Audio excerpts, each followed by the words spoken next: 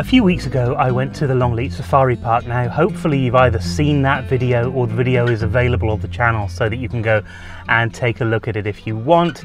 Um, I had a few issues when I was there, and I've been saying for a little while, I've been saying it throughout these videos, I have been having focusing issues. I did some good stuff at Birdland. I did some bad stuff at Birdland. I got some good shots in Longleat, but I got some bad shots in Longleat as well. And I've been trying to figure that out. So uh, today, West Midlands Safari Park, I came here on a day when they said it would be really nice and, and it's not. It's just rained. So that's a good start for somewhere where you're locked in a car, uh, trying to take pictures through a, a window full with, with, things. But that's passed. Had a bit of lunch you know, as you do. Uh, so I'm going to try and um, get that working. Okay, so the, here's the difference. Before, I've been using single point focus and not continuous focus either. So today, continuous focus, and I'm going to try a couple of different things. First of all, group focusing, uh, which gives you a sort of four up display. Now, I tried this with flamingos, uh, again, go back, watch that Birdland and Longleat video, you'll see what I'm, I'm talking about. Try this with the flamingos and it worked really well. The other thing I didn't know about was D9 and D21, where, uh, it, and it's a focusing mode that I've seen some wildlife photographers use. So hopefully we're going to get some shots like that. Now, like I said, it's not the greatest day out there, so I'm not expecting the best photos ever. One of the great things about the West Midlands Safari Park is that if you come and buy a full ticket, you actually get to come back for free. You get a, a free trip around the uh, the park. So uh, I might do that. I might use that later on. Um, right now, I'm going to head off, and yeah, this is largely going to be uh, a, a, video with me in the car uh, again, talking about stuff.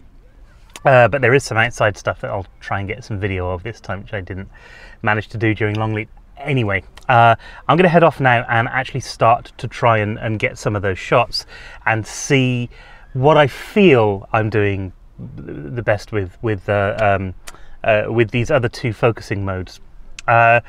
Might be uh, a bit different. I might have to bring some of these back into Lightroom and actually do some Lightroom videos uh, that, that, are kind of uh, showing you exactly what's going on with them. But uh, we'll we'll save that for a bit later. Until now, here are some pictures of animals.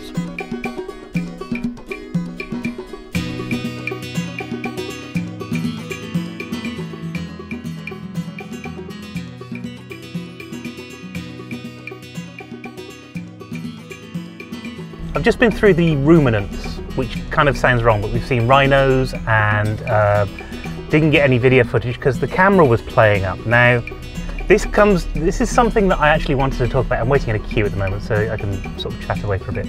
Um, something I wanted to talk about, make sure you set your camera back to settings that you want to, to use, because I had bracketed mode turned on from my last trip to the Brecon Beacons.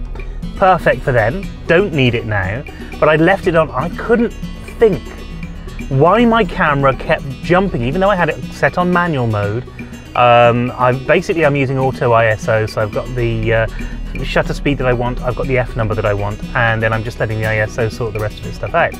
I couldn't think why it was changing the shutter speed, and it turns out that it's bracketing that was doing it. But uh, I, have turned that off now, so hopefully I'll be able to get some. I won't be so panicky about getting photos because I've got some completely pointless exposures there. But never mind. Here we go. We're about to move.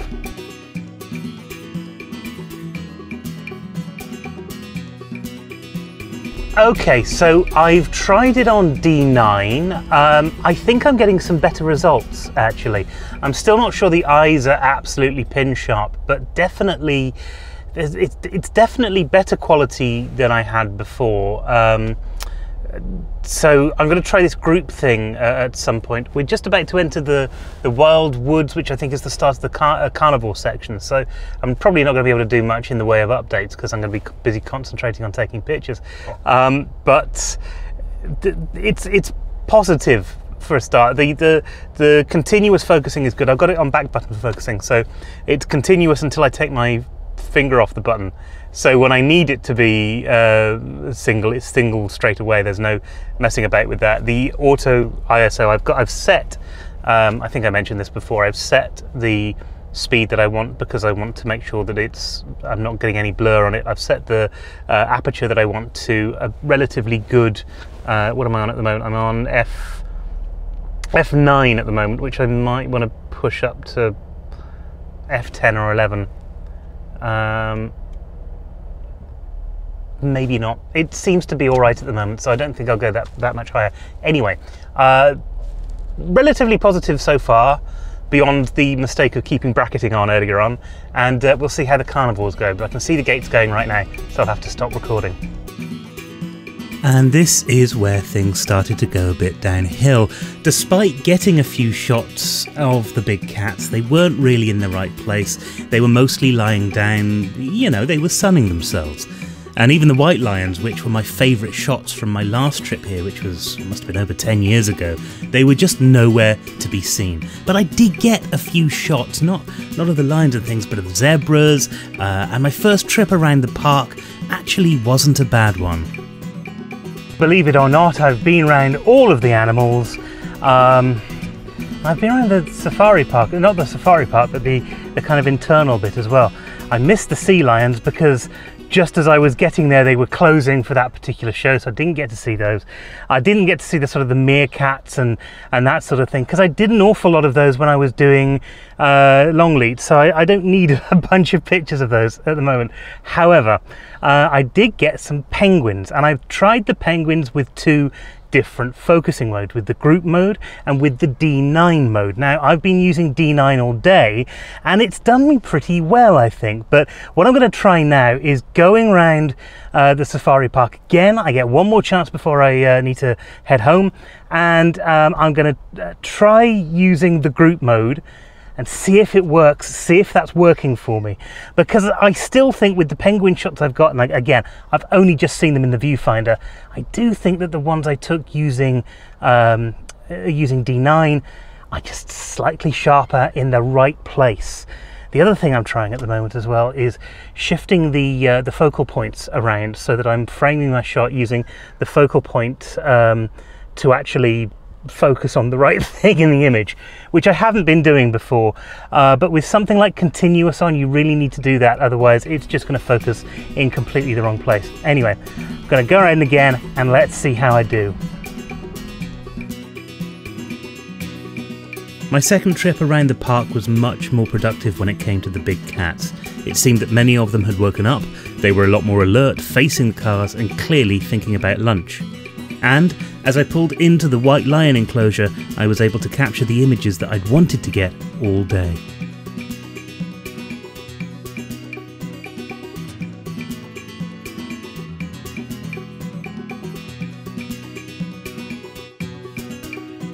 Well, that was very interesting. I've been around again. The idea was to keep everything on group uh, so that I could test out the two. What I ended up doing, because I was uh, sort of pixel peeping they call it on on the the uh, the viewfinder just to see you know what what a difference it was making. What I ended up doing is actually putting it back onto D9 so that I could get some shots, and I got some shots which hopefully are going to translate into into Lightroom into being that I've got I've got uh, white lions, I've got a uh, white tiger.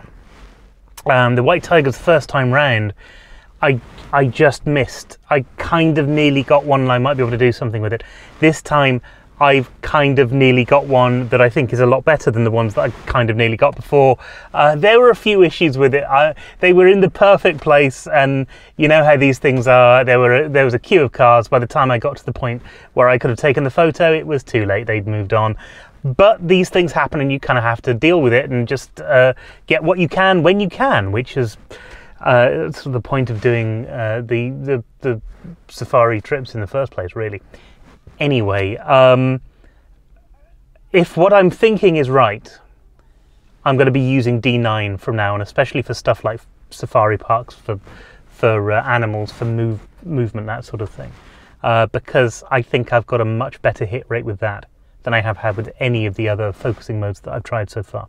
And that's interesting because some people really like that group focusing. They absolutely swear by it. And other people really like that, that D9. Now, what happens with D9, as far as I understand it, is that you get a single pixel in the middle, eh, a single focus point in the middle. And then it will use the nine points around the outside of that focus point in order to um, make sure that what's in that focus point is really what you're, you're doing. It, it, means that you're more likely to get something in focus using that system. That's the idea, anyway. And I think that's what happened, which is, again, you know, for me, somebody who's, who's just starting out on this and wanted to get the best pictures that I can, that was very, um, that was very interesting. So, uh, good day. It's just coming on to rain. So I've made it around the park in, in the right amount of time. I think I've got some good shots. Definitely uh, enough shots to uh, to play with, and definitely some.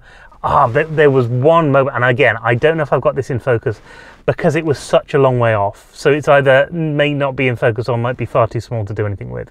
Um, but there was a rock uh, with a, a, lion in it in the lion enclosure. And I think that the idea was that the lions would go and sit on that rock from various different points in time. Of course, been around twice and absolutely nothing. Well, whilst I was there, and unfortunately, I'd just gone past it, so I wasn't in the best position.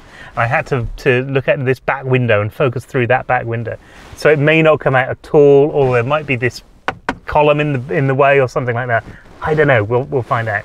Uh, but if I've got it, it's the, the carved lion face on one side and then sitting uh, on the top, pointing the other way, is a lioness. That might be a good shot. We'll see how it goes. Um, for now, I'm going to head back and see uh, and get these into Lightroom and see how it all goes. Um, very excited to be be doing more stuff with animals because I quite like photographing animals. They're, they're quite interesting, you know? And the edits aren't too difficult either because with a building, you know, you put a lot more into it. You, you bring out a lot more, or with, with, with nature, you try and bring out more of the, um, uh, the, the, the things than you need to. With portraiture, you do the same thing. You know, you you'll smooth out skin or you'll highlight eyes. With nature, uh, wildlife photography, really, uh, you know, you need to get as much as you can in the camera because the thing that's in the camera is the thing that people uh, actually want to see. And I know I've said in the past, and I'll probably say it again at some point. Um, I, am not somebody who worries about photo manipulation at all. There are a bunch of people out there who actually have a real problem with photo manipulation. Who, you know, if you've added a, a, an aeroplane, this is a, a famous example of, of, somebody who actually did uh, add an aeroplane into their uh, picture and it got panned for it. If you add an aeroplane into a shot, I don't mind. The important thing is the shot. Is the shot what you want? Is the image what saying what you want to say? Is the art of the image something which is going to to uh, uh, get people on board with what you're doing, which is always uh, part of the problem. And there is this idea in some quarters that anything to do with that, anything to do with Photoshop, is a bad thing, and that anything that you've not got in the camera uh, is worthless, is isn't isn't right. It's not at all. It really isn't. And I know where this comes from because I've had uh, this before uh, myself. It, the idea that you can create something and you do get all of those things right in the camera, and yet it will fail against an image that has been heavily manipulated on Photoshop. That's an incredibly galling thing because the amount of work that you've put into that image to begin with, you know, it, it should be taken into consideration. Um, so I understand why it's it's there, and I do sympathise. But then, at the end of the day, your work is your work. Your art is your art and if your art needs you to put a lot of work in on Photoshop at some point, bring in mountains that aren't there, add, I don't know, mystical pools of light or whatever it is you need to do to get the image that you, you think is going to tell the story that you want, do it. Don't hold back because somebody's saying, ah, yeah, but you didn't capture it in the camera. It doesn't matter.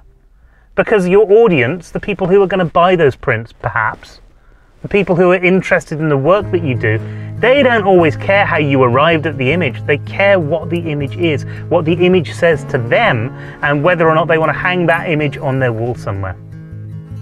Well, that was the end of my trip to the West Midlands Safari Park, and I ended up with this panel of three images with the white lions on, which I am very, very pleased with.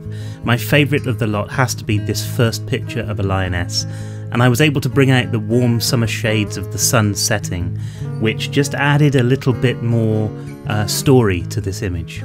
It was a brilliant trip, and I'm finally comfortable with the new camera and the lens, and I'm getting the results that I wanted. I hope you've enjoyed this trip, and as always, a comment and a like on this video would be ever so well received. Thank you so much for watching, and I'll see you next time.